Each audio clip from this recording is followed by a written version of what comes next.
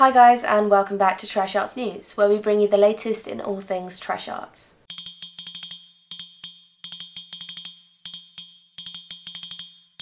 Once again, it is Throwback Thursday, and today we're featuring a short, Promises. Promises is a short film from 2013, starring Tia Demetriou and Nick Downs. It was directed by Sam Mason Bell and scored by Ben Farrant. This was the first short film Trash Arts had gotten into festivals, playing the Directors Lounge in Berlin, London Short Film Festival, Hamilton Film Festival, and many more. So that was Promises. You can catch that online now on Versus Media, along with many other of our short films. Or if you don't want to go looking for it, you can find a link in the description below.